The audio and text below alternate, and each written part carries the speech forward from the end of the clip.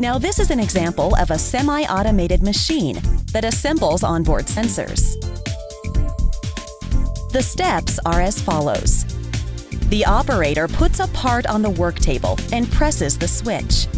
The work table moves forward and a connector is press fit and conductivity is checked.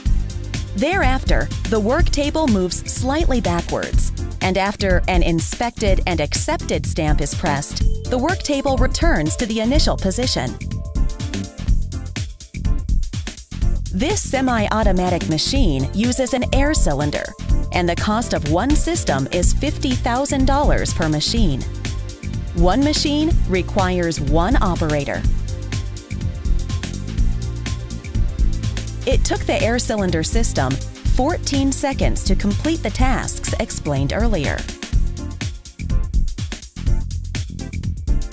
When a system having the same function was designed with a robo-cylinder, it took $55,000 to build one machine, which is $5,000 more than the air cylinder system.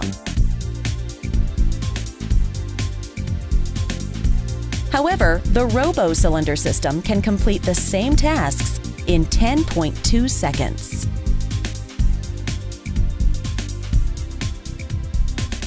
In other words, the cycle time of the robo-cylinder system is 3.8 seconds shorter than that of the air cylinder system.